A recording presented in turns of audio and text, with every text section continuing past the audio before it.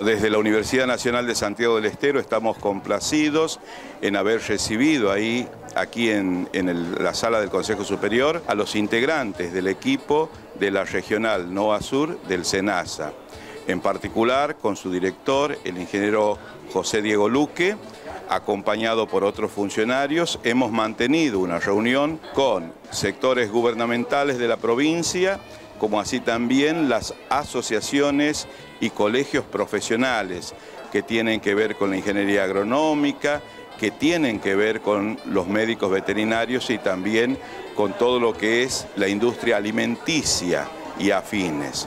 En este sentido, también han sido convocados las federaciones agropecuarias desde FAS y APAS 4, que en particular congrega a productores de esta región de Santiago del Estero. Nosotros hemos abordado una amplia agenda. Esta agenda tiene su centro en la posibilidad de capacitar a los distintos sectores de la provincia en las temáticas que hoy preocupan, tanto en la parte pecuaria como agrícola. Y en este sentido se ha propuesto ya un cronograma tentativo que va a abarcar prácticamente hasta el mes de septiembre de las capacitaciones que van a realizarse de manera conjunta con el aporte de la Universidad Nacional, con el aporte del SENASA, con el aporte del INTA y también de los distintos colegios profesionales que he mencionado. Una jornada muy provechosa de trabajo donde eh, se coordinaron temas específicamente relacionados a SENASA, a los productores, donde coordinamos jornadas de transferencia de conocimientos. Estamos, este, la verdad que muy contentos de esta convocatoria